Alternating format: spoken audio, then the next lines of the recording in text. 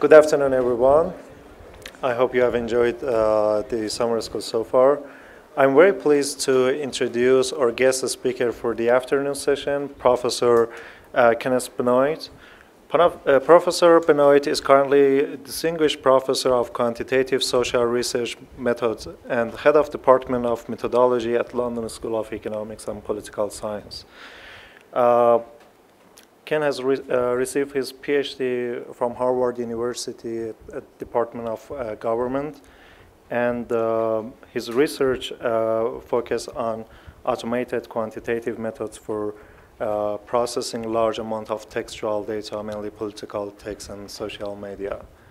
please join me to welcoming Professor Kenneth.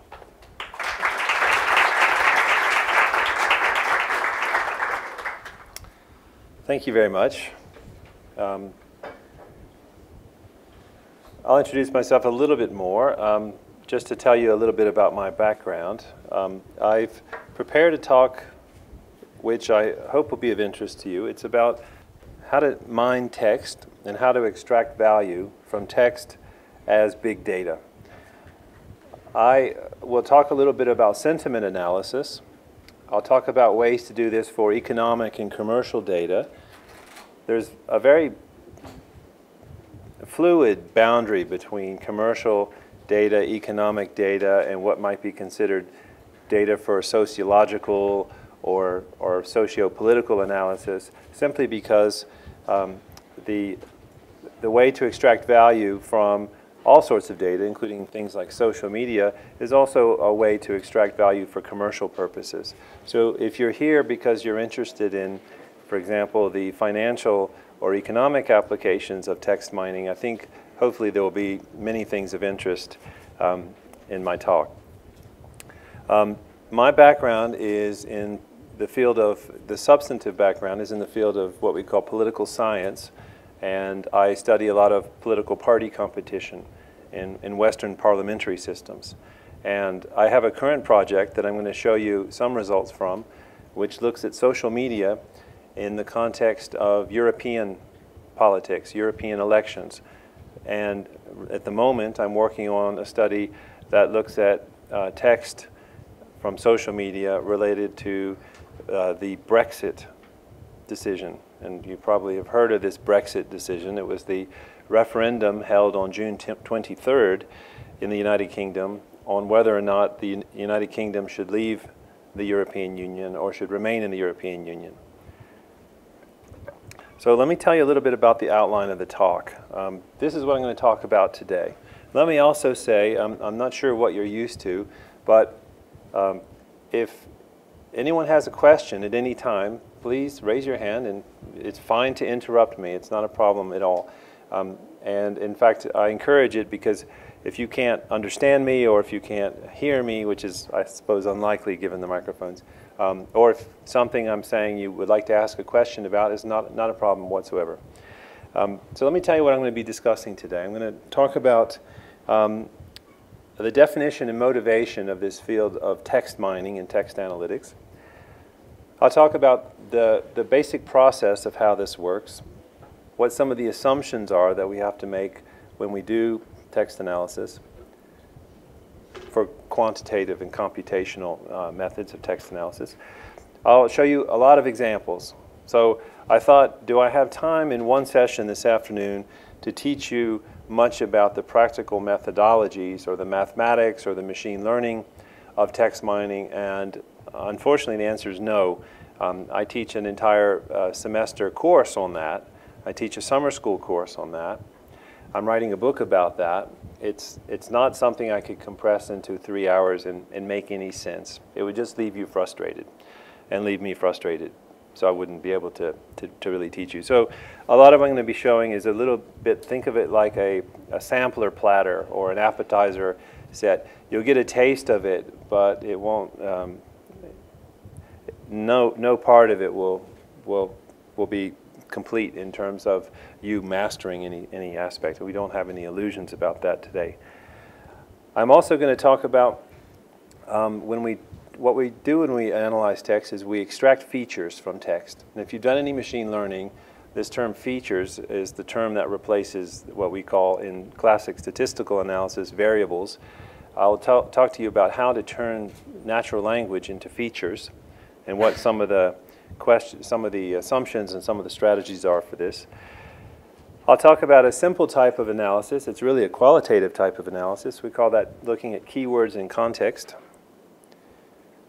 Then two types of analysis which I think were particularly relevant to um, for commercial and economic purposes.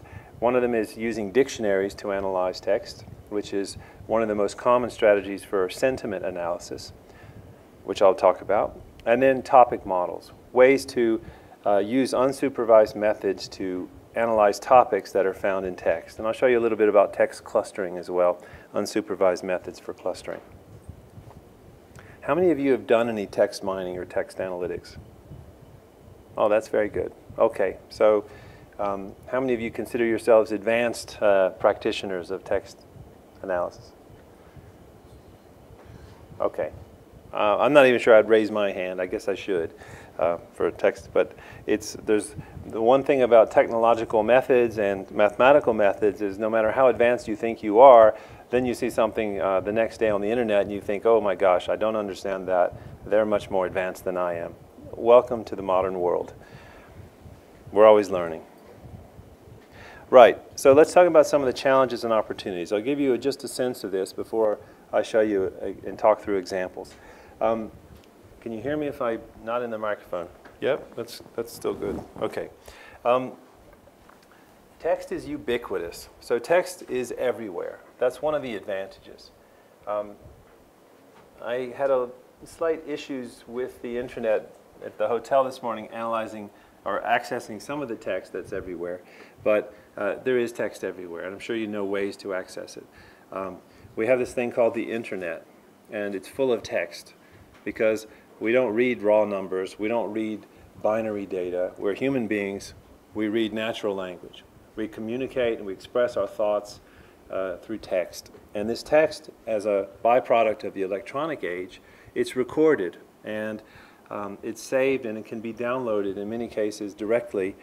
Um, text is present in ways that just weren't possible before. So if you were, if you were doing um, research 20 years ago even, let's say that you, like I did for my, for my uh, PhD, I studied the, I studied the debates that took place during the transitions to democracy in Eastern Europe in 1989, 1990, 1991, when countries had, when the Soviet Union had collapsed and countries were making transitions to democracy. A lot of those transitions were negotiated, and those negotiations were recorded in transcripts.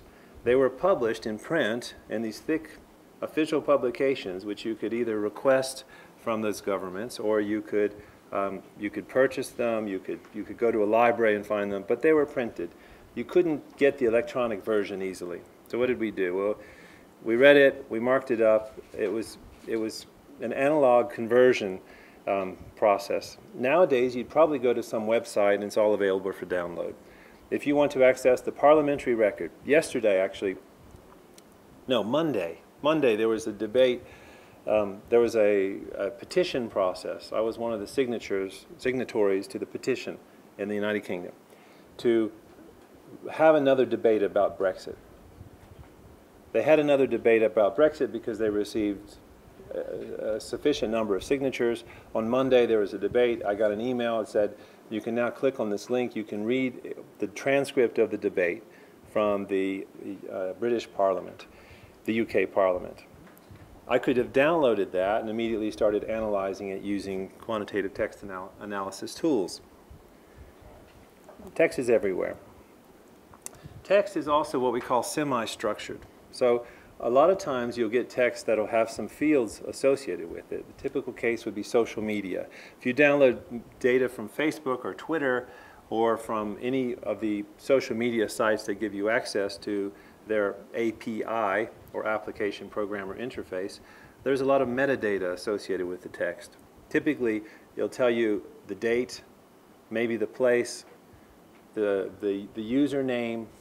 These are types of structure, or at least they're metadata, which allows you to impose some structure. It could be that you've got text with tags in it. It might identify in a debate transcript, it might identify the name of the speaker and then have the text. So there is very often some, some structure. So text is also uh, unstructured because most of what we would like to extract from the text has no structure. It has the structure of natural language, but this is not the structure we would need for machine learning. It's not the structure we would need to put this into, um, into a program like MATLAB or R or Stata in order to do analysis. Structure would be if we had a, a, a rectangular type structure where the rows were cases and the columns were variables. That would be structure.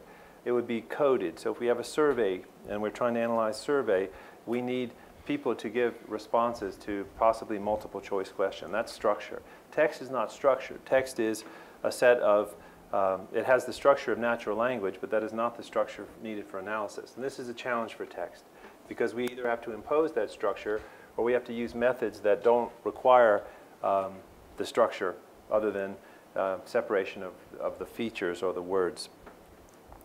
Also, text can be used for machine learning and statistics, but we have to be very careful there because the data generating process, which is something that would be keenly concerned with in the field of statistics, it's different for text than it would be for other variables.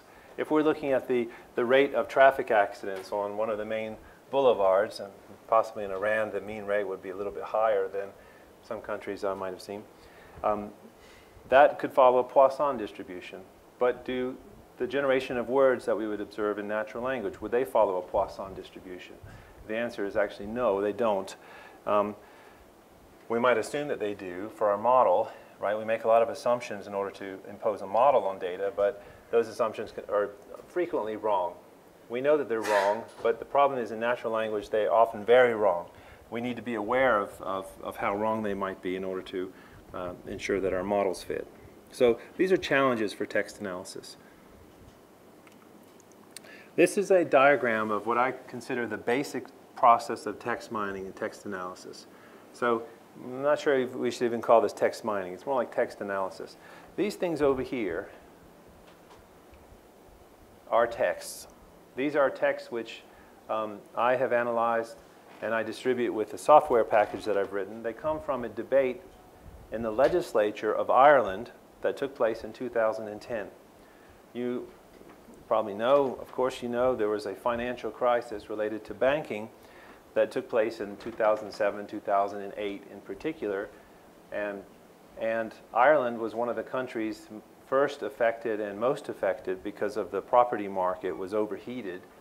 And they um, had to impose drastic cuts in order to get their budget deficit under control and to pay for the cost of bailing out banks.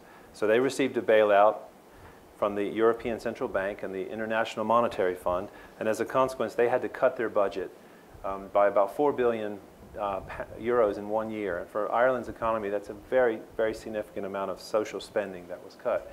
So they had a debate over the budget, and this debate was recorded. And they debated a lot of things about whether uh, the government was competent, about whether they should make these cuts, how they should make these cuts. But in parliamentary systems, budgets are passed by the coalition which is elected with the majority. If you've ever watched professional wrestling, where these big guys get out and make a big show of it, it's, it's sort of sporty, but it's a little bit like Shakespeare. Um, everyone knows beforehand what the outcome will be, right? So the outcome is predetermined. And these budget debates are a little bit like professional wrestling. So they get up and they make a big show of it, but the government always wins because they have a majority. And um, everyone votes in the government for the budget, and everyone in the opposition votes against it. But what's interesting is what they say. So we're not trying to predict how they'll vote. We know that. But what they say is a signal to uh, their constituents. It's a signal to the members of their party. It's a signal um, that we can analyze because there's very interesting things in that. So these are text here. And if I want to read this data, I don't need a fancy machine learning tool. I can look at the text and I can read it because it's language. It's natural language. That's what's different about text from other forms of data. If I give you a time series of cross-national gross domestic product and maybe equity pricing information, you can't look at this giant spreadsheet of numbers and really read it. You could possibly identify some things, but we don't read giant spreadsheets of numbers. If I give you a transcript of one speaker and I ask you to read what he says and tell me about it, you can read that. You can make sense of the raw data. Unfortunately, what we need to do this quantitative analysis is not the raw data. We need to process this into a form that we can't read. So we go from this process here of having these raw text to having a matrix form. We need to turn the documents into rows of this matrix. And in this simple case, I've turned the, the columns or the features are, are words, they're terms. So this has become what we call a document term matrix. And there, there are tools to go from here to here and very efficiently. Um, these are counts of how many times each term occurred in the document. Once we have this matrix form, we can apply any variety of statistical tools or machine learning tools that would be pretty, a lot of these would be familiar to you um, from your statistics courses. We can run simple descriptive statistics. We can look at the frequencies. We can plot the distribution or uh, frequency pictures, figures related to frequency of the features or the words. We can use scaling techniques. We can perform multidimensional scaling or things that are similar to factor analysis. We can extract topics, some of the things I'll be showing you today. We can analyze the sentiment of these words. We can figure out how many positive words there are relative to negative words. We can analyze the vocabulary to figure out what, what sorts of words were being used. We can do any variety of things that are statistical, but we have to go from here, we have to turn this into a document feature matrix, which we can no longer read in order to do these things over here, which are statistical tools. And the key with the assumption um, process that we'll be talking about is to perform these, we have to make an assumption about the distribution of these features that are converted from the natural text. And that involves making assumptions about language. And every language has differences. You'll know this better than I. Languages have different features, and these aren't easily turned into statistical assumptions. So this is both an illustration of the process and also something about the challenges. Where do we get text? Well, I said it's ubiquitous, meaning it's everywhere. Text is everywhere. Well, the internet, number one source. Um, the internet is the publication source of text, but in the process of recording text, um, it's usually digitally transformed. So things that are spoken, the European Union has 27 countries at the moment. And they have, I think, 18, 19 different languages, possibly more. And they used to, they used to translate everything to, into every language. It was very, very expensive because you can imagine they've you got to take every publication, every debate, and translate that into languages where there are only a few million people, like Estonian, that no one else can read. They stopped doing this a few years ago. and Now they only translate it to, I think, six languages. But um, you could find, you can find on the website of the European Parliament, for example, every word spoken and translated into many different languages. It's an incredible source of, of text. That's just an example. Um, if you're interested in the 10K filings of U.S. publicly traded corporations, there's a website uh, where the Securities Exchange Commission publishes those documents that companies are required to file every single year if you want to analyze these in, in finance, for example. Private assets, so especially for companies whose primary asset is inter, uh, intellectual property, information technology companies, you might wonder, how do they make money? Well, they make money because they're getting your data, right? So every time you post something on Facebook, they get information about you. They also get information about your network of likes, um, about what you uh, who you follow, whom you follow. Um, they are able to monetize that because they know exactly what products you might like and they can give you advertisements that are tailored to you. But they do this through analyzing your text. Why does Google give you free email? Why do they give you all these searches for free? Because they get to read every email that you have and they can monetize that. So this form of individuals giving their text to companies um, is one of the ways. Another way, of course, is if you're a company and you have a database of customer service surveys. where you ask people, why did you give this rating? Then you're getting a lot of text that's generated through, through something that the company may have as, as a byproduct of, of some internal process. When I say self-generated through research, so if I'm a researcher and I'm commissioned um, to do a study or as part of my academic research, let's say that I do some interviews and I transcribe those interviews. I've generated these texts um, through my research. So the, the text of an interview is not something that exists until you create it. It's very common to create your text through this type of process. And social media is, is, a, is a combination of these things. And there's, a, there's so much of this. I mean, the amount of data generated through social media is staggering. Twitter alone generates about 400, maybe 450 million tweets per day. That is a lot of information. That information would break your laptop in, you know, for one day of social media. Um, storing this information, processing this information requires computing resources on a huge scale. So there's lots of text. Let me show you some examples now. So let's walk through examples. I'm going to show you a lot of examples. I'm going to walk you through these. And if anyone is curious, you ask questions, don't hesitate. So what is this first one? I mentioned that I'd analyzed uh, budget debates in Ireland. This is a plot I did with a colleague, um, an, he's an American named Alex Herzog, and we did a study of, um, this was actually published, I think, last year. We did a study of all the debates over budgets in Ireland going back to 1983.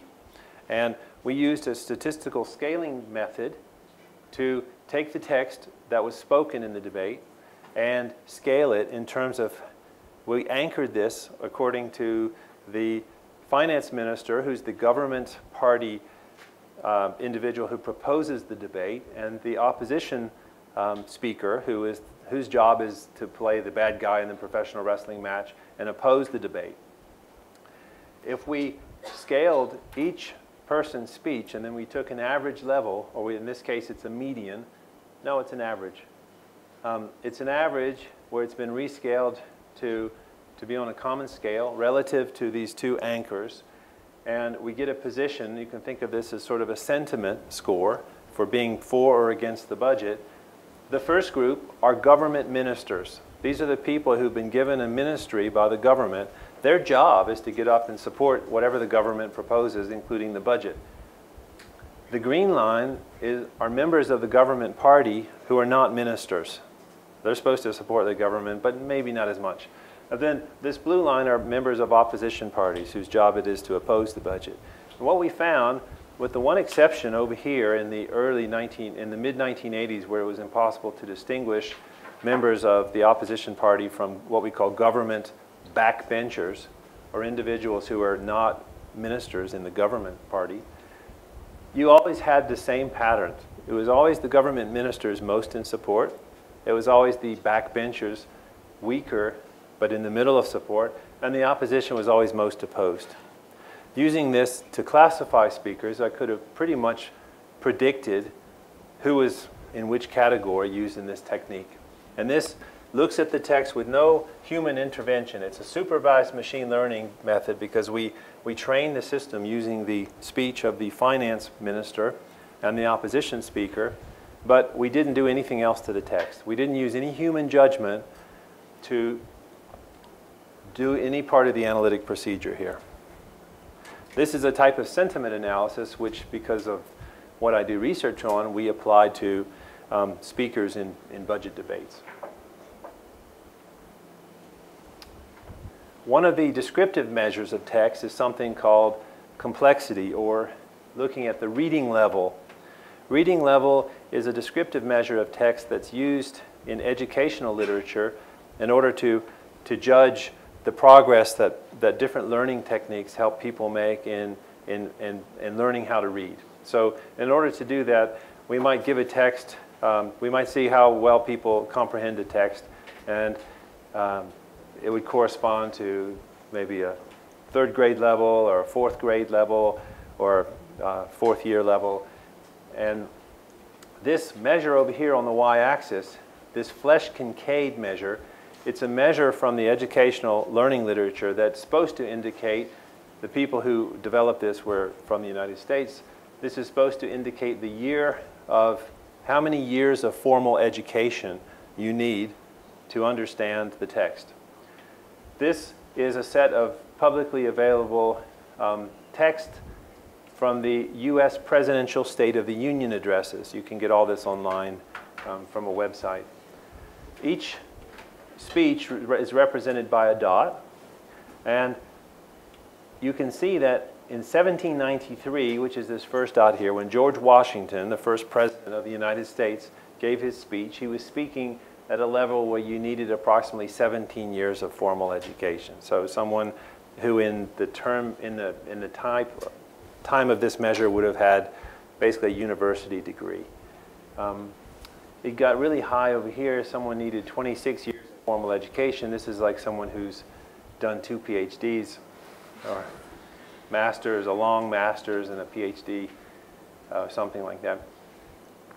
And the, the most interesting thing about this pattern, right, which is evident in this trend, is that over time, as we approach the modern era, the complexity of language has gone way down. It's gone down uh, from about 20 to about 10. So the question that people are asking themselves is, have we really gotten less sophisticated? Has the public in the democratic system here, where the president each year is making an annual address, why speaking in such a simpler way? And I've actually got a research project with a colleague at New York University now, and we're, we're, we're writing a paper on this. We're trying to figure out what the, what the reason is for this decline. Um, and it, it's received a lot of attention lately because of this fellow you've probably heard of named Donald Trump.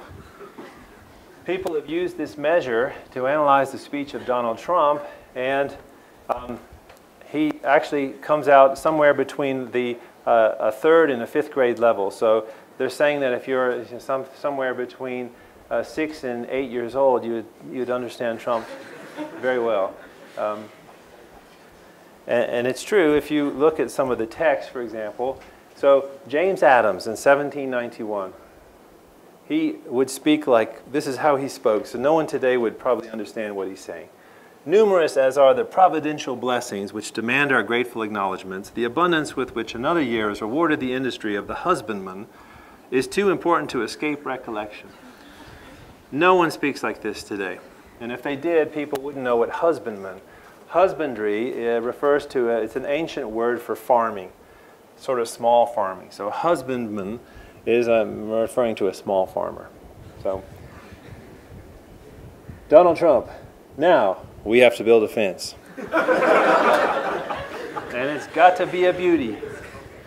I build, it's what I do. I build. I build nice fences, but I build great buildings. Fences are easy, believe me. This, this had a 19.3 on the reading uh, score. This had a 0.9. So this could be, this could be sort of the, the, the type of book you would re read to your child who's four years old, and they would understand maybe Donald Trump should be a children's book author. So the question is, what, what is this for? Is this a matter of style? Is this a matter of uh, something about the sophistication of the audience? We're, we're trying to investigate this. And I'm picking on Trump here, deliberately taking the simplest thing I could find by him, but he deserves to be picked on. Question?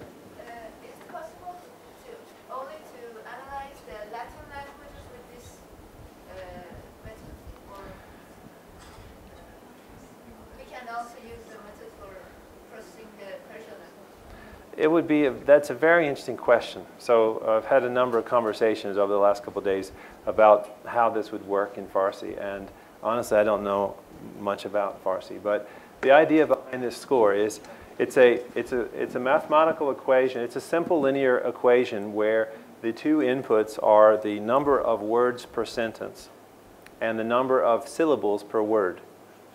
And you average them. So you take the average of the word length and the average of the sentence length. And the longer your words and the longer your sentences, the more complex your language. So Trump is scoring very simply here because a word like fences are easy. That's two syllables, one, two syllables. Husbandman is three. Recollection is four. so, you know, if, if, there are, if that would be meaningful in, in Persian, then yes, you could. You would have to have some software that counted the syllables, but um, the scale is probably different. So when we talk about this Flesch-Kincaid score, it's what they did was they measured difficulty and then they came up with some coefficients in this linear equation to make the scale something you can interpret. It's like Celsius or Fahrenheit. I'm, I'm a Celsius guy myself, but Fahrenheit, what is Fahrenheit? So Celsius, the two things are perfectly linear equivalent, right? They're no, one is no more informative than the other, but Celsius tells you that when it's zero, water freezes. When it's 100, water boils. For Celsius, or for Fahrenheit, you've got to remember, you know, you take your temperature, do you have a fever, what's it supposed to be? Well, that's, I guess, in Celsius, it's 32 you have to remember these numbers. So rescaling is just a way to make it meaningful to a context. But it's not something that's, you can develop any combination of that linear equation you want. So you, you probably you could. Here's a paper that I published earlier this year. We looked at every tweet from every candidate to the European Parliament from the elections of 2014. We gathered all of their Twitter data the hardest part about this was finding out their accounts that they had because there were 16,000 candidates in 27 countries to the European Parliament. And many of them people who would, had no chance of winning, but they were declared candidates. So we wanted to try to figure out what sort of information was there in the publicly available in, uh, Twitter data. I know you can't read this, but you can look at it later on the slides. But this shows you the total tweets that we analyzed. It wasn't huge by big data terms. This is not a big number, but there were 441,000 total tweets in our search that we picked up using our search criteria that had to do with the European election. Or this was anything sent by or to uh, a candidate that was on the list. And broken down by country, the percentages using Twitter, the percentages of candidates using Twitter in Bulgaria and Romania was very low. The lowest was the Czech Republic. So the East European countries had the lowest use of Twitter by the candidates. The highest uh, was Ireland, Sweden, Finland. Italy was very high 54%. Um, tells us a little bit about the patterns of adoption. One of the things you can get from social media, this is not text analysis now, this is the metadata that comes from text for a lot of the social media information, you get a geolocation that you actually know where the tweet was sent from. And in Twitter, you get this information, but only for a very small proportion of tweets. It's only about 3% of tweets are geolocated. It depends on the user. It depends on whether they have a phone or a device that has geolocation and whether it's enabled. And you can turn this off because otherwise, not only, um, Twitter always knows where you send it from, but um, unless you trick it. But this is publicly available. So if you enable geolocation, anyone in the world who wants to read it can find out where you sent it from. And the interesting thing here that makes this a challenge is these are different languages. Of course, you can see the correspondence with different countries. This is the Italian. The Italian tweets were almost exclusively in Italy. Um, the English tweets were in Ireland and the UK, the Spanish tweets are in Spain, the French tweets were in France. There's a high correspondence, very, very high, between the country and the language. And all these tweets were in different languages. So our challenge for this study was how do we do a common analysis of these different tweets that are in different languages? How do you compare uh, Italian tweets with English tweets when the feature set is different? The columns in that data set are different because they're different languages that was a, the, the, the, interesting challenge for this study. This is the sort of thing that uh, we did. So I realize this is too small to read here. I'll just tell you what it is. This is our analysis. First of all, we wanted to try to predict the patterns of adoption that are in this table. So this percentage using Twitter, how do we predict who had a Twitter account? Was there something systematic that predicted which candidates would use this and which candidates wouldn't? So we used a logistic regression uh, multi-level logistic regression where uh, we had a number of covariates, including um, whether they, they were previously elected to the parliament, because previous election to the parliament was a very strong predictor of whether you had a Twitter account, probably because you had a staff, and the staff said, hey, I know you're an old guy, you don't know what this is, but we're going to get you a Twitter account and start sending information. Also, um, men were more likely to have a Twitter account than women.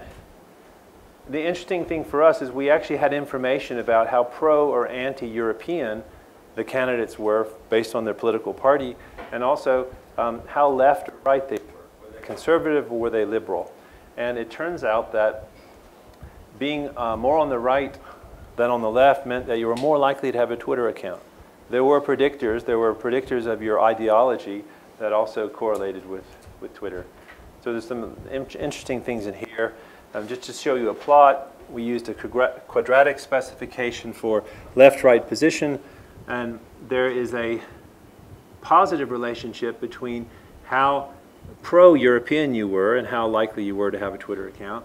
There's an inverted relationship between left-right position. So candidates that were more centrist were more likely, were the most likely to have a Twitter account. We haven't done any text analysis yet, so I've shown you two, two slides now with no text analysis. Here's another one with no actual text analysis, but it, it is an analysis of the, uh, of the existence of this text. This is a plot over time of the frequency of tweets by three categories. There are the replies, so if someone, if you're a political candidate, someone could send you a tweet. Um, they, you know, they could say, hey, Ken Benoit, you're running for European Parliament, I, I really don't like your position on Brexit. Why are you opposing it? You know, and if, if a person wanted to reply to that on Twitter, then that would show up as a reply. This is a way that people communicate now publicly um, with people. It's all public, so you have to be careful what you say. Um, but this is actually the most common type. It's, uh, I think so. Oh no, these are retweets. Sorry. The replies are in the middle. These are the retweets. So retweets are the most common because people would see something and they would retweet it. So sorry, retweets are the most common. And then the original tweets are this black line at the bottom.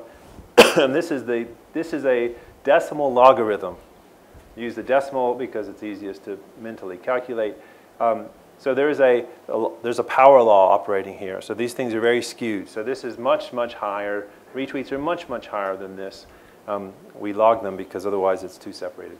And you can see that there's a spike here. There's three spikes. The elections took place during this period, and they're taking place in 27 countries, so it's not all in one day. India has elections like this. It takes them like four weeks to have one election because they, they go all over the country. Leaders debate. So the leaders of the largest party groups had a debate, and you can see that there's a spike in activity that was caused by these debates when they occurred because they were, they were on TV in all the countries. Probably no one watched them, right? It's not as exciting as the European Cup, but um, it did cause a spike in, in social media activity. This is a standard sort of plot now where we actually are doing some text analysis. It's called a word cloud. It's very easy to do using different software. This is a partitioned word cloud. These are three candidates from the, the largest European party groups. These are the, the, lead, the leading figures of the party groups. We've partitioned the text according to the color. These are hashtags in Twitter, hashtags only here, that are associated with the candidates. And you you know, you can tell a little bit about something. This is the most common one. This is proportional to the relative frequency. Guy, for Europe. The guy is not just like some guy. It's this guy's first name is Guy Verhofstadt. So this is why the hashtag is Guy for Europe. And this gives you a sense, like most word clouds, it gives you a sense of the most common words, but it, you know, it's, you have to look very hard and get out your reading glasses to see some of the smaller ones. Um, so word clouds are, you see them a lot. They're of some use, but not, they're not the the best form of communication necessarily. This is very interesting. I'm going to talk about this later when we get to dictionaries. This is an example of how to get cut through the, the problem of having these different languages. And what happened here was we wanted to measure what was being said by the candidates in their tweets, the actual language, using a dictionary of sentiment. You could do the same thing for product relations. You could do the same thing for company filings. You could do this for just about any type of text. The sentiment analysis is a very common activity where you want to analyze how positive or negative is being said in something. And we used a dictionary called the Linguistic Inquiry and Word Count, which has a category of negative words and a category of positive words. The interesting thing is that are, this dictionary has been translated into six different languages. So, well, it's into five. It's been translated into French, German, Italian, Spanish, and um, Dutch. So Dutch must have been the reference category. Yeah, Dutch was the reference category. And we looked at a fixed effect per language, but we also had the, uh, the left-right position and the EU position in there. And we, we looked at the sentiment. Because this is a dictionary, it worked across languages because I had a translation of the dictionary for measuring positive and a translation for measuring negative. On this particular scale, I took the, the ratio, I took the logarithm of the ratio of positive to negative, and that indicated the sentiment on a scale whose center was zero. And the interesting thing is that I found there was no relationship between the left-right position of a candidate and how positive or negative was the content of their tweet there's a very strong relationship to how pro or anti-European they were. So the most pro-European candidates were by far saying the most positive things. This dependent variable here is the log ratio of negative, positive to negative emotion, and the x-axis is how pro-European they were. This is indication that in the campaign, what's being talked about through Twitter is really about European um, integration. If you're pro-European, you're saying positive things. If you're anti-European, you're saying negative things. There's a debate in, in, in analysis in political economics about whether people are talking about the economy or classic left-right positions. Should we redistribute wealth or should we tax, tax the rich, redistribute their wealth, or should we be uh, economically liberal and try to get out of the economy? That's left-right positioning. The debate was not about that. The debate was primarily about uh, the role of Europe and how strong the Central European institutions should be, which is an interesting finding. I mentioned I'm doing research right now. Yes? How did you capsulate the position of each candidate partner? we have information from uh, a survey that's done of experts on all the political parties in Europe. And what we assumed was that a candidate would have the would take the position of its of its party.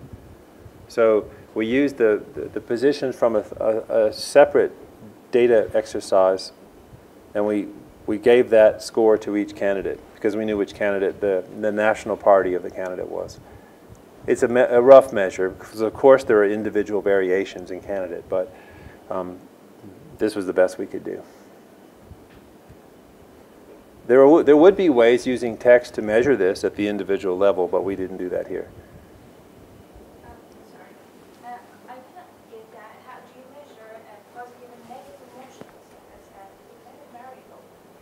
I'm going to show you a very specific slide about that when we talk about dictionaries. So that's a very good question. If I can postpone the answer, I'll, I'll show you the details soon. I'm gathering, this was capture from this morning, I'm gathering information about tweets that mention the UK referendum on leaving Europe, what we call Brexit, British exit from the European Union. This is a, an analytics, a console from an analytics platform that um, a, a European grant that I have pays for. It accesses what's called the Twitter fire hose the constant stream of these 400 per day tweets, 400 million per day tweets. And this is the number of tweets sent today already about Brexit. I did this this morning. Um, Europe is what, three hours, two and a half hours behind. There are a lot of tweets per day. This is just today. So there were millions of tweets per day in June when the referendum took place. Um, now there's typically about 40, 50,000. I have 35 million of these captured um, in, in a database that we're trying to analyze.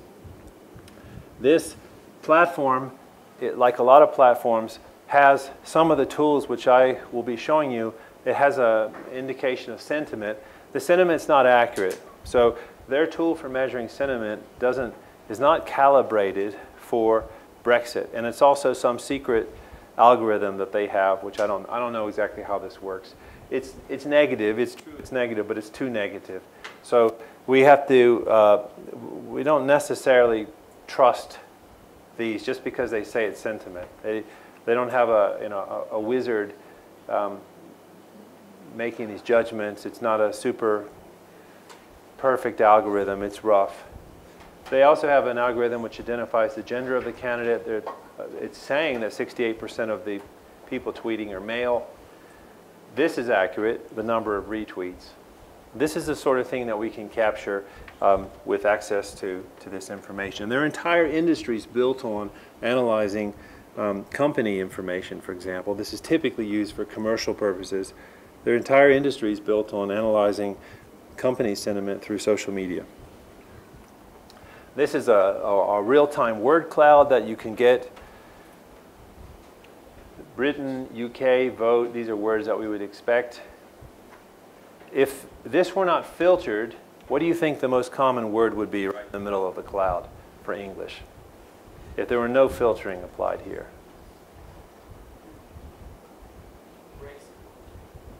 Brexit?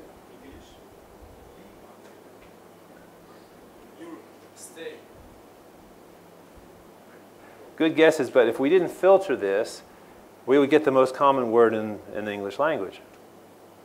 Right? The. The is the most common word. The definite article in, in English. That's not interesting, right? It's a linguistic tool that we need in, in a language like English um, because we have to pad the important words with things like conjunctions, prepositions, articles, nouns, so we typically remove those words. I'll talk about this under feature selection. This has removed those words. Otherwise, the word the would be right in the middle of the word cloud, and that's not very interesting. Uh, for some reason, the filter at the hotel prevented me from getting all of the information, but these are, these are some of the tweets that were picked up by Brexit. Here's one in uh, Chinese, or is that Korean? Here's uh, let's see.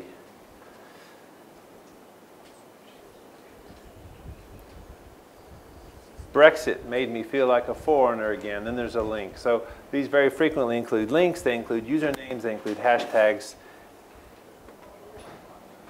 So I'm, I'm working on this this year. This is part of this study that I have. It's funded by the European Union. How do we do this analysis? Well, um, if you use R, how many of you use R?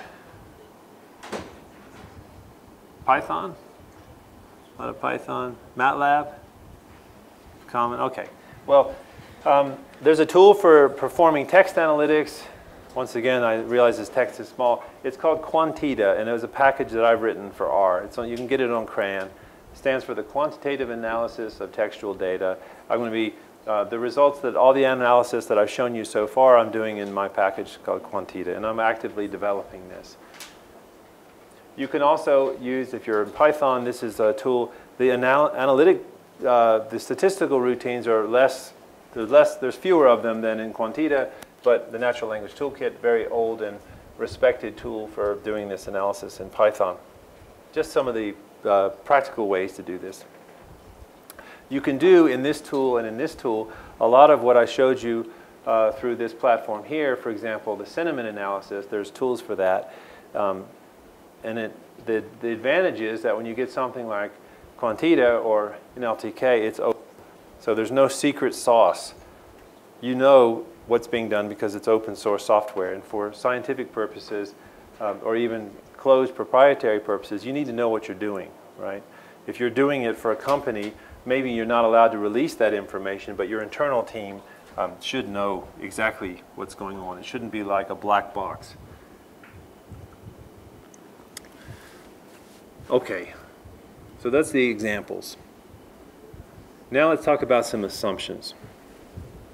Let's talk about some of the things that we have to assume, and all, all analysis and assum, you know, statistics it rests on assumptions. We make assumptions about the data in order to uh, make probability statements later on. Quantitative text analysis is no different. We have to make assumptions. Some of these are strong assumptions. So the key with assumptions is knowing um, what they are and trying to then figure out whether they're justified. So one of the key assumptions required in quantitative text analysis and text mining, we have to assume that the text, that in the text is information about the things that we're interested in sometimes this is something we want to discover. So in some of the things that I showed you from the European elections, we weren't sure whether in those tweets people were talking about Europe or whether it was primarily about economics. By analyzing that information, we are able to discover some of that. So this is an assumption you can test. But let's say that I'm trying to analyze uh, I'm trying to analyze sentiment in a budget debate, and I'm trying to um, measure whether this is about support for the government or opposition to the government. I need to know that in that information there's something real being expressed. If it's true that there's no point in going through the motion, if there's no point in having this debate because the vote is already decided, why have the debate?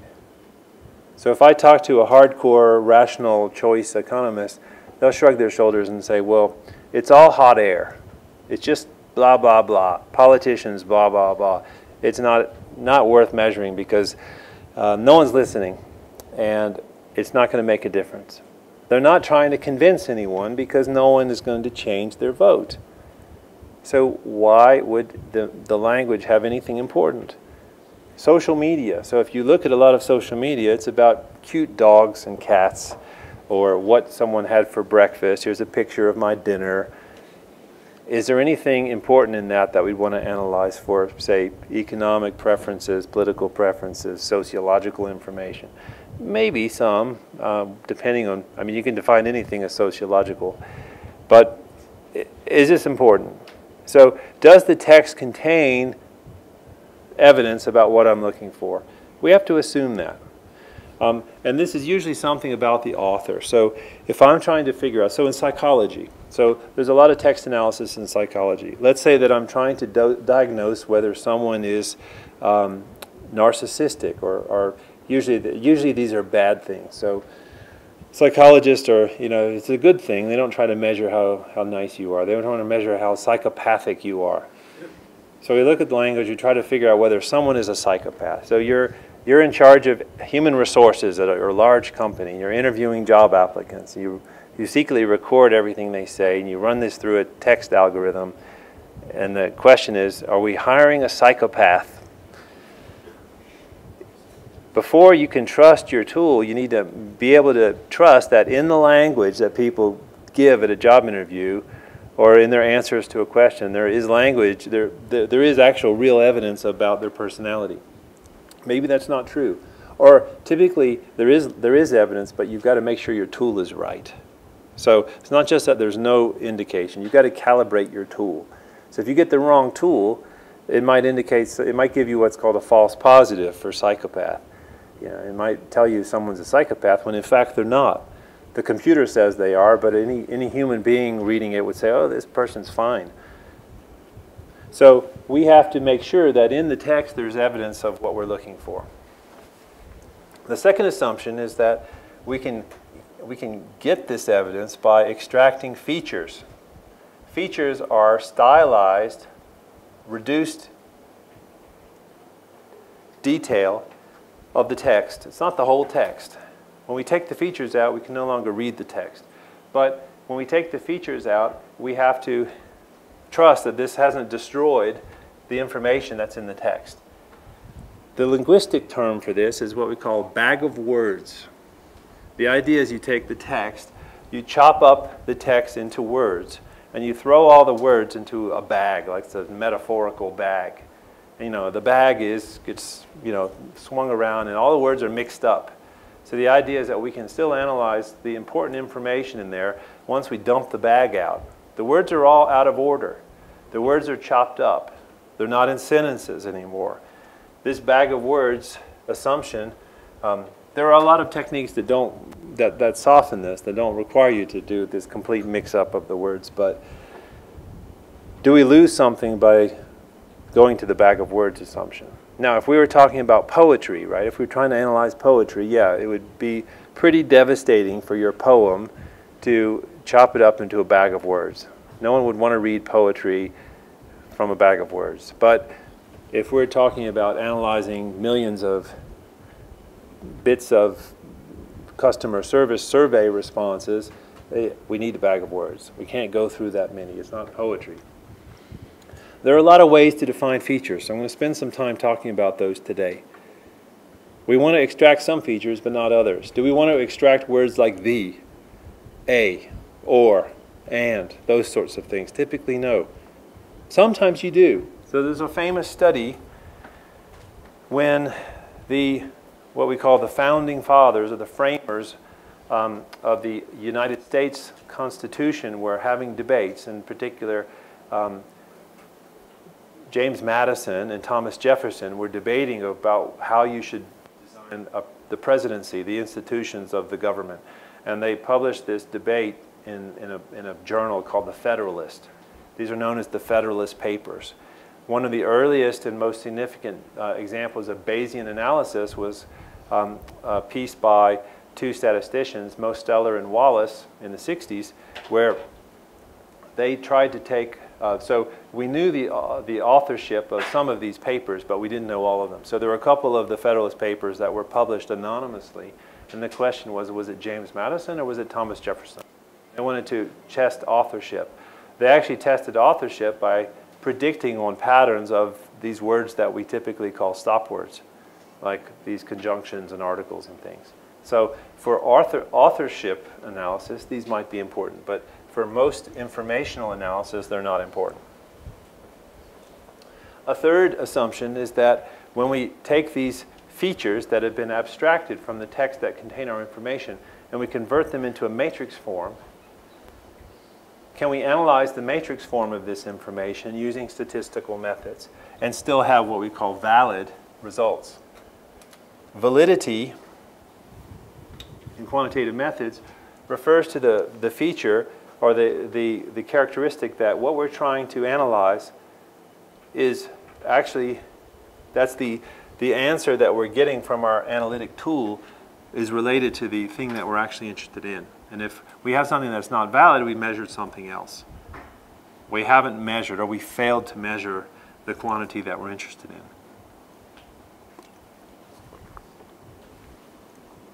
Are these estimates meaningful? Are these estimates valid? Someone back here have a question or are they just stretching? Just looks like a stretch.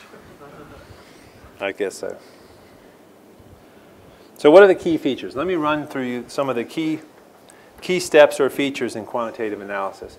The first one we have to do is we have to define what's called a corpus. We have to select our text. This is true of any type of analysis. We have to select our data. We choose our data set we select our data. Defining the corpus means, um, so in my, my study of Brexit, I have to specify the search terms. Which users am I collecting from? What are the search terms that I'm using? And this changes sometimes. You have to get this right. You have to define your set of text. Let's say you're analyzing media. Let's say that you want to look at newspaper articles over a long period of time. Which newspapers? Which news sources? Which days? Which date ranges? What are your search criteria? Do you try to take everything? You can't sample the whole internet, it's too big. Right? So you sample pieces of it. Same thing as in any research. You have to define your, your research data set. Once you've selected a corpus, these corpus corpora have to be converted into a common electronic format. This is trickier than it sounds. And if you've dealt with um, alternative character sets, and I know that you all have, um, you'll know that this conversion of text is not the easiest thing in the world. So you've got a lot of binary formats. You've got PDF documents. You've got Word documents. You've got um, different versions of PDF documents, different versions of Word documents. You've got um, other formats which are marked up text, HTML, XML, could be uh, text that's in some sort of key value database format like JSON. There are so many different varieties of text that you can get. Comma separated values, Excel, it could be in Excel. And if you know that there are certain products that tend to destroy the encoding of text. So if you've ever dealt with text encoding, this is a really complicated issue. What will look fine on one person's computer will be a disaster on another person's computer. And the history of encoding is a really fascinating story about conventions um, and the, the way that computers represent language and text. They represent these things as numbers, and the typical way to do this is to map characters to a table of numbers. There's something called Unicode, which was an, an attempt to come up with the end-all, be-all translation of characters into numbers, but that still has to be encoded. It still has to be represented by bytes in a computer, and there are different ways to encode Unicode. So if you've dealt with text, you've probably run into this. It's often a headache. Um, not to pick on Windows, but it's more of a headache in, in the most common platform worldwide, which is still Windows, uh, because of the standards that Microsoft embraces, which are typically Microsoft's own standards rather than more open standards. If you use a, a, a Mac platform or if you use Linux, it's actually easier because they're in um, an encoding for Unicode, which is more standard. If you use um, some of the older platforms that are still based on 8-bit encodings, then it, it can be a real pain. You can translate between all these things, but one of the problems with encodings is you'll get a text and you won't necessarily know what encoding it's in. You've got to detect that encoding. Because in a plain text file, there is no tag that you might find in HTML to tell you what encoding. I have people come to me in my office at the London School of Economics, and they say, I would really like to talk to you, Professor Benoit. I've got this really tricky text problem, you know, I want to talk to you about, and they tell me what it is, and I think, okay, great. Come by, we'll talk about it. I'm thinking we're going to talk about something cool. We're going to talk about random forest algorithms for high-dimensional text. Uh, and they come and they say, I don't know how to get the encoding of my text from this into this. It looks like junk in my editor. It's something really low level, like how do I uh, convert Microsoft Word into plain text. 90% of people's text problems are in this one right here. And this is a real, real difficult thing. So getting the text into the format that you want, um, it depends on your level of computer skill.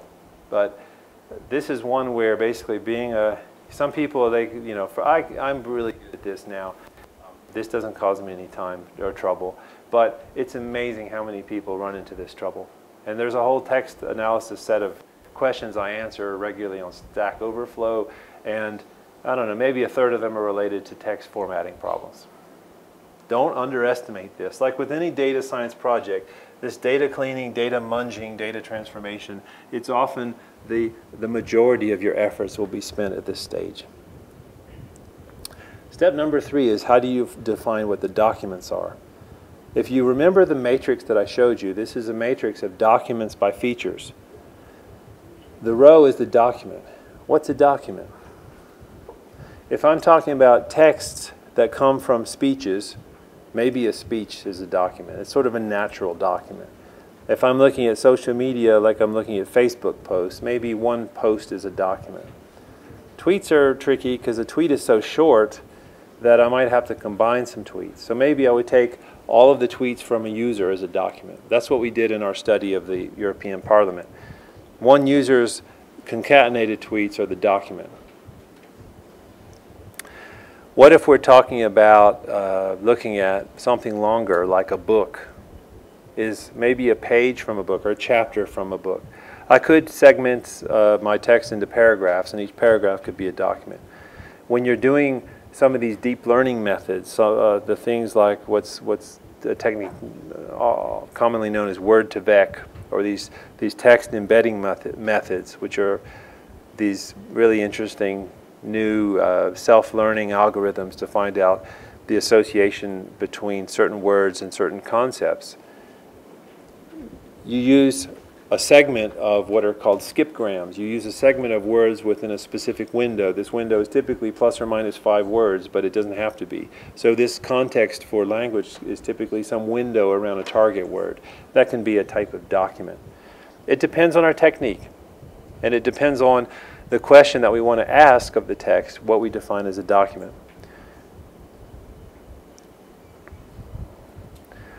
Fourth step, this is something I will spend some more time on because it's really crucial to the, um, the enterprise of text analysis. We have to define what the features are. Features can take a variety of forms. Um, a feature can be a dictionary entry. I'm going to be talking about dictionaries in more detail. Um, we, uh, it's absolutely fine if people need to step out for a break or something, but um, we're going to go up to, just so you know, that I didn't get this this wrong, but um, I was told that we were going to do an hour and a half and then take a half an hour break for coffee and things, and then we come back? Okay. So we will take a break. Um, but if you need to get up and go, it's fine. Yeah. Uh, uh, what are the units that you use, which you use to analyze your text? I mean, you use uh, words, or you're going for phrases, you're going for paragraphs, you're going for sentences. I mean, what are the basic units that you prefer to analyze the text? I think uh, in the quantitative matrix that you show us, you just select some words and then count the number of the words, and then your analysis uh, based on that. Is it always working like that, or Uh, various cases like this? we have to be careful what we what we call unit because um, in step three here, which is not something I'm going to talk about in much more detail, a document I consider the document as a unit of analysis. You might hear the term a term document matrix. In, in, in all of my classes, it's officially prohibited to use that. I always talk about a document term matrix because I think in a data set we analyze the, the unit of analysis that we record, these things that we consider exchangeable units for the purposes of an aggregate statistical analysis are called, they're, they're the rows of our data set. So a document for me is always the row. If I'm analyzing tweets and I want to figure out um, some quantity uh, to estimate from the tweets, I want to consider that the tweets are somehow identical in a, uh, what is it, IID, or I want to consider that they're exchangeable in some, some sense. I want them to be the rows. So when I select the document, that is what is the collection of text from which I will have variables or features. This notion of features is what are the columns. So I think your question is mostly about features. What do we select to be features? Well, um, this is the question. So do we select words? Do we want to select only certain words? Do we want to select all words? Do we want to select words that we can consider as groups that are equivalent? When we do what's called stemming, we're saying that all of the words that have the same stem, we're going to pretend that they're the same. We take a word, uh, I have no idea how it is in Farsi, I'm embarrassed to say, but in English, if we make a word plural, we add a suffix, usually es or s, sometimes other forms, depending on where the word came from. If we conjugate a verb, we add various suffixes, or we may change the word, but typically we add a suffix. Changing the word would be like I run um, means current, you know, um, that's uh, present tense. I ran is past tense. If we consider those two forms as equivalent, then we've grouped our features. With the dictionary, we don't actually consider the words. What we do is we perform a match to a set of values in a dictionary entry, and all of the words we would count as one occurrence of negative emotion any word that was in the dictionary entry for negative emotion. So the, the feature there could be a dictionary entry. We could, we could use good old-fashioned human coding. We could say, read the text. If you see a sentence, classify this sentence as uh, being pro-free trade or anti-free trade. And if it's pro-free trade, we'll count pro. And if it's anti, we'll count anti. And if it's not that, we'll do something else. A lot of text analysis involves human coding. So we wouldn't necessarily have to take bag of words from our text. We could get a human to make a decision. In a lot of machine learning exercises, the training set is come, comes through human coded text. I've done a lot of things with crowdsourcing, where we, we put up these small bits of text on a crowdsourcing platform like Mechanical Turk or Crowdflower. We ask humans to make these judgments. We use that as an input to a supervised machine learning method, or um, we analyze it directly. So this is an excellent question, and the answer is it can be any of these things. It could be linguistic features. Linguistic features are typically parts of speech. We could um, either select on parts of speech. We might only be interested in nouns. Or we could use the fact that it's a noun to further classify the, the feature. So this is a really open-ended question. This will tell us what the columns in our matrix are. Documents with step three, determining the columns is step four. Once we have that matrix, we, we take these features, these documents, and we do this conversion. We, we make the matrix. And that's a, a mechanical step. So software does that for us very quickly. I've spent a lot of time in my software to do this efficiently. Um, I'm always looking for ways to do this more efficiently. It's pretty fast. In Quanteda, in my R package, it's pretty fast. Step six is that we take this quantitative matrix and we, we apply some analytic procedure to it. So we, we apply procedure to extract the, the sort of knowledge, the text finding, the, the, the the, the things that we're trying to estimate or analyze, we apply to this. This can be, this can be very, very simple. We could just look at the proportion of positive, the proportion of negative. We might only look at the proportion of positive.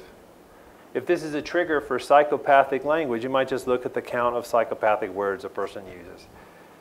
Um, we could do something much more sophisticated. We could do um, factor analysis. We could do some Bayesian scaling method.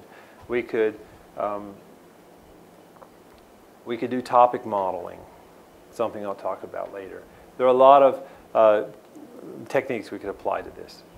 It's a matrix. So it's a matrix of, of data. Typically, it's a matrix of counts. Counts are bounded at zero. They might have some count-like distribution.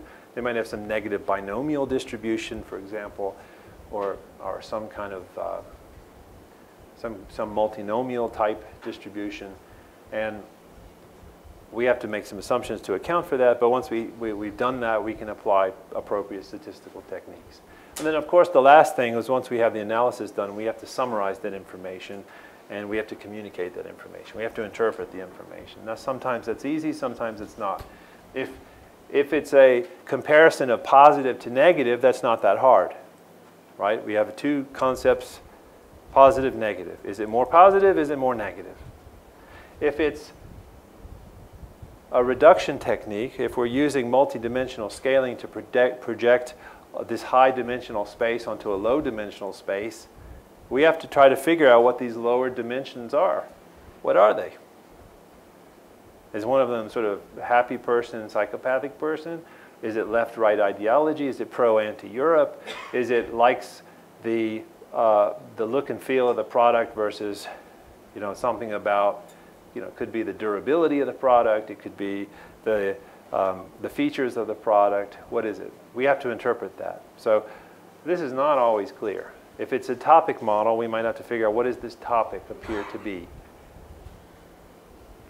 So sometimes this is easy, sometimes it's not. It depends a lot on the procedure. And it also depends on how much external knowledge we have. So with unsupervised methods in machine learning, you don't have the ability to compute precision and recall because it's not supervised. You didn't train this with a correct answer. But you do have the ability to look at the, the relative fit of one model versus another with some techniques. You also have the ability to compare the, the categories of answers to external information.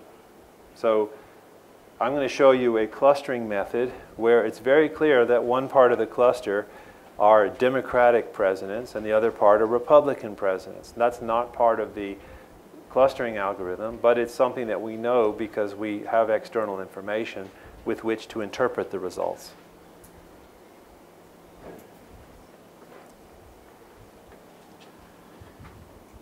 I'll tell you about word frequencies and their properties. That'll take us up to our break. Part of this process of making assumptions has to do with the data generating process for natural language. And one of the things that gives us the analytic juice that we need to do the analysis is the fact that word usage is associated with something meaningful. Relative word usage is associated with a particular type of sentiment or a particular position or a particular uh, orientation of the speaker, information that we would be trying to get about the person who generated the text. And we can do this, we can look at the frequency of words that are used without regard to how they were used.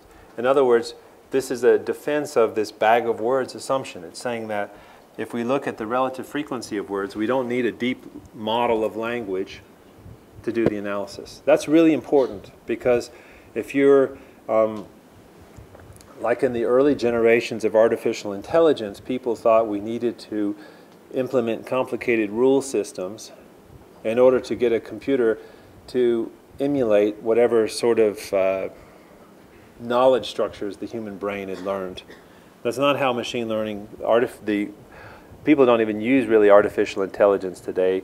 Um, the, the cutting edge of artificial intelligence type methods now is you basically give a machine tons and tons of examples and it learns the patterns from those examples.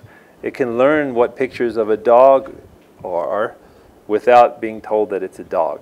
Well, actually, what it does is it learns something that if you give it another example, it recognizes it as being a member of that class, and then some human has to say, by the way, that's a dog. It's more like how a child learns. So um, the child sees two animals, one is a cat and one is a dog, and it learns that they're different, and then later on someone tells it that this thing in language is called a dog. Um, but it knows all the attributes of a dog based on um, the type of fur, the type of teeth, the way it wags its tail. Uh, unlike a cat, it will do things like you say, come here, and the dog will come, and the cat will just go off, do its own thing. You learn these things without knowing what it's called, and uh, it's a very different um, approach. But they're doing this by breaking down these elements. When the computer does it, it breaks down these things into features, right? It's not, the computer isn't giving the dog a treat and seeing how it reacts. It's looking at um, a matrix of features which are abstractions of what a dog is. And the same thing is true for language. So this works for words when we can associate more words with more of a quantity. And some methods look at whether a word is used or not. And um, they work, but they don't work as well as methods which look at the, the, the, frequency of the words, the relative frequency of the words. If, if anyone talks long enough, they're going to use some words which would be considered positive and some which are considered negative. So if you only looked at, did the person use a positive word? Yes. Did the person use a negative word? Yes. That's not informative. If I use 100 positive words and 10 negative words, I'm probably saying something positive. So it's a relative balance. Um, and for words where you're looking at triggers to indicate a certain orientation, we need to look at the relative quantity. There's something called n-grams. So another answer to the question about which features to use is do we look at single words or do we look at combination of words? Well, N-grams are combinations of words where we would look at, say, uh, in, uh, a bigram, which would be here, would be single tend. Another bigram would be tend to. So we could form every pair of words. Pairs of words are much, much more rare than single words. And single words tend to be rare enough as, as they are. Um, so sometimes we, we focus on pairs of words, sometimes we focus on single words. The problem is single words are typically rare Pairs of words are even more rare overall, distributed across the corpus. We could look at distributions of words, which are typically some discrete distribution of Poisson or the related multinomial, or maybe some generalized Poisson distribution. There's something called Zipf's law. Zipf was a very interesting mathematician, and he figured out, and a linguist, and among many other things that he did, he figured out that if you take a corpus of natural language speech or nat natural language utterances, you'll find that the frequency of a word is inversely proportional to its rank in the frequency table. The simplest case of this is what we call a 1 over f function. So if we take a set of words which have this Zipfian distribution, and we sort them from the most to least common, it means that the second most common word occurs half as most frequently as the first. The third word occurs a third as most frequently as the first. So the nth most common frequency will occur 1 over n as often as the first. And this has been measured in various languages. Every language has a slightly different set of parameters, but the probability of encountering the most common word is then typically, um, well, for English, it's 0.1 over r, up to about the first most thousand frequent words. Why is this important? Because it's an indication that there's, first of all, a power law distribution when it comes to word frequencies, and also that there is something about the frequency of words, or the relative frequency, that tells us about their importance in language. This has a nice form when you take the logarithms, because if a word occurs f times, it has this rank r in the table, then for all words, we have this equation where f is equal to a over r to the power of b, if we take the logarithms of this, it becomes this nice linear equation where the coefficient b is this exponent, and we can estimate b for any natural set of languages. If you take any text, almost, well, you take any English, French, or European language text, and you take the most frequent words, and you look at their um, frequency relative to their rank, and you take this on a log-log form, you'll find that you'll get this negative slope with a coefficient that's very close to 1.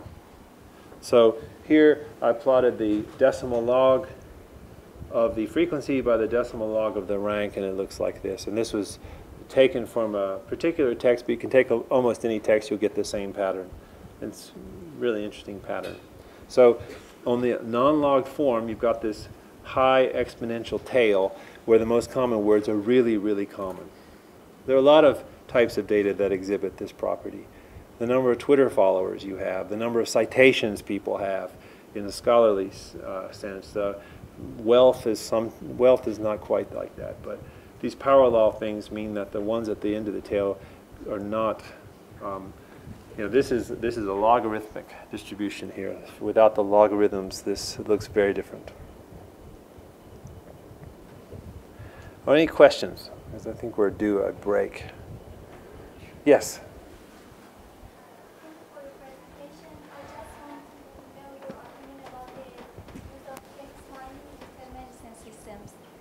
You know, the patient uh, his or her uh, symptoms, and I don't know by supervised or unsupervised machine learning algorithm, even by neural network algorithm or fuzzy algorithm, uh, we cluster these takes into classes of disease. Uh, what is your estimation about the reliability of this system? Or in other words, uh, how much is the power of text mining in detection of health problems uh, according to the challenges that we have in this situation as, uh, I don't know, incorrect words, meaningless and useless words may the patient insert and also the overlap of keywords between different classes? That's a fascinating problem of um, so I'm assuming here you're, talk, you're not talking about the patient satisfaction with his or her experience. You're talking about using this to diagnose their disease. Right? Okay. So this is a question where you would use a, you can actually compute the accuracy of this according to a gold standard of some doctor's diagnosis. So um, let's say you've got, I don't know, online, your business is online doctor MD. Patient goes, and the, the computer says, well, what is your problem, Mr. Patient or Mrs. Patient? You type in a description, and then it gives you an answer. You have uh, leukocytosis or something. I don't, just invented the disease. Um, the question is, how accurate is that diagnosis? Well, if if we did a sample and we had, you know, a validated sample of patients who had typed this in, and then they go see a real doctor, the doctor, you know, we get Dr. House, MD, from the TV show. He always diagnoses correctly. He gives the actual diagnosis, and then we use the text to predict that. Um, I think I've only, I don't, this is not my area, but I, I, I did read something, um, I read something on that, and I think it was saying that um, you can, what it does is it filters, so it certainly filters. So if, if a patient is saying, you know, uh, they're describing a problem with their knee, then they're probably not going to go see an ears, nose, and throat doctor, right? But you can narrow that down. It might be circulatory related, it could be ligament related, it could be something. Um, so what you could probably do is, it depends on the resolution. So if, if you're trying to diagnose the, the extremely specific problem in order to give a remedy, that, that might be a hard one. Um, why? Because people's, the way that people express, like that assumption about validity, the way that people express their symptoms is, uh, it really varies. So if you have a medical degree, you're going to give a very precise description of your symptoms. If you, um, if you're an uneducated person who, you know, thinks that uh, highly superstitious and your solution might be to, I don't know, wear a clove of garlic on your left ear as to ward off headache or something, um, maybe you're going to give a very different diagnosis. And it, it's hard for, it, whenever human beings have subjective experiences to relate, it's hard to pick up stable patterns that uh, are the same mapping between descriptions and, and outcomes. That's a fundamental problem of human beings, right? Everyone has a subjective experience.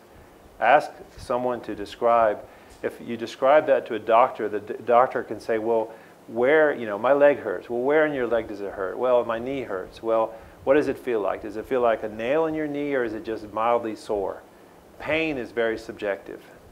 They use, you know, if, if 10 where you're dying and one is just a slight, slight twinge, tell us your, your, your, how painful is it on a scale of 1 to 10. Some people have a much higher threshold for pain. So that's a really difficult one to describe pain. And um, I don't really know the answer to that, but this is the type of problem where you would get a validated set, you would analyze the ability of text to, to meet the validated set, and then you would hope that in some other application, um, you would hope in another sample that it's stable. So this is the problem with supervised methods. It might be really well fit to the sample that you have, then you go to another region, you go to another country, um, and, or another age group, and the, the ability of the system to diagnose is very different.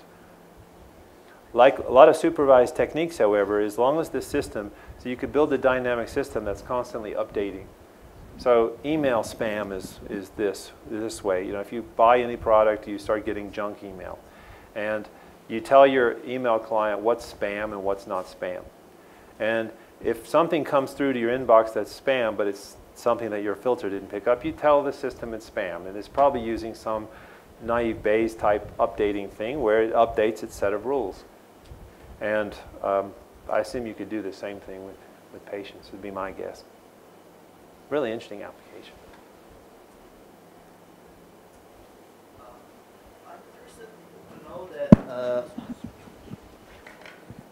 Uh, is it on? Okay. Uh, I'm interested to know that uh, how, how people in natural language processing actually find their um, training sets in order to use um, their supervised learning first. And then if they are successful to do so, my question would be that how large do we need our training sets to be in order to have accurate um, results when applying those um, techniques in the real life situations and our real questions actually?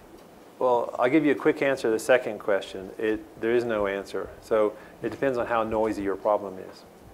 If you have a, a very noisy problem, you need more data to pick it pick up. It's like the it's like in statistics with when you calculate a sample size.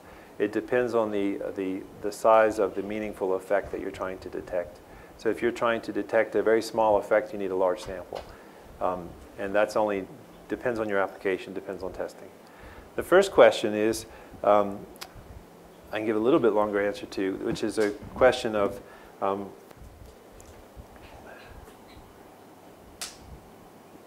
refresh me on the first question. What was yeah, my first question was actually that how do people actually oh, yeah, um, right, right. find those? So typically by human decision. So you, you don't let computers train themselves, right? You, unsupervised, I always compare unsupervised methods to sort of unsupervised children. Um, they usually cause chaos. So um, you have to tell them the answer, and you get the answer through a human decision. usually through a more expensive procedure. So with the medical diagnosis, you know, you could use instruments, blood tests, um, or some, some instrumental, you know, MRI scan, or you could use human diagnosis through a doctor, an expert. So it's more costly because um, an expert has made the judgment. Um, that's how we got the estimates of political party positions. So we're always trying to figure out things that we can't observe but we estimate, like ideology or sentiment. How do you know something's sentiment? If you get a human to read uh, an, an Amazon product review and the Amazon the reader says this is really negative, or a movie review, this is negative. They, they add a label. You use those labels. And then you've got an issue that you're using a subjective human being to, to tell the, the true answer. So typically, you, you use a bit of qualitative coding and you do reliability analysis. You'll get two or three humans to, to make the judgment. You'll, you'll see whether what, what you're asking them to do is reliable. Humans aren't reliable. What, what does reliable mean? And reliable means you get the same answer if you perform this, the analytic procedure a second time. And when you ask human beings to do qualitative uh, judgments, they don't give you the same answer every time. So you're typically looking for a reliability measure of something like 0.8, 0.9. These come from medical studies, by the way. Reliability measures were developed in medical contexts. Have you ever seen an x-ray? Right, doctor puts an x-ray of your skull up on a light thing. And you know, to you, you don't know whether this means you've got two days to live or whether you're perfectly healthy. Medical experts will pretend that they know, like they can, oh, I can read that. You know, I can't read Chinese if someone's Chinese. That makes perfect sense to them. To me, it doesn't mean anything. It's, it's not exactly that way with x-rays because two doctors will look at it and they'll have a different diagnosis, which is why they say always get a second opinion. Guy goes to his doctor, doctor says, what is the problem? And the doctor says, you have cancer. He says, I want a second opinion. The doctor says, okay, I, I think you're ugly too. Little joke, anyway. Uh, I guess we're done. Yes. Thank you very much, everyone. Now we can have a short break and we will come back later, okay? Thank you.